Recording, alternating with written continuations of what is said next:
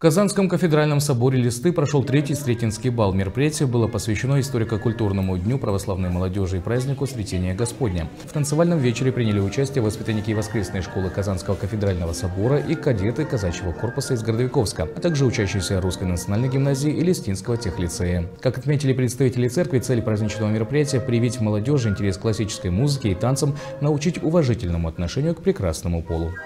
Внимание церкви направлена к молодежи, чтобы а, она вошла в понимание этих событий, что Христос по любви, Сын Божий, сходит на землю, привлекая к себе и старых, и малых, привлекая к себе весь мир и создавая Церковь Христову на земле, которая вечно жива и вечно молода, потому что в ней живет Дух Святой, обновляющий, помогающий ей выживать в сложных ситуациях –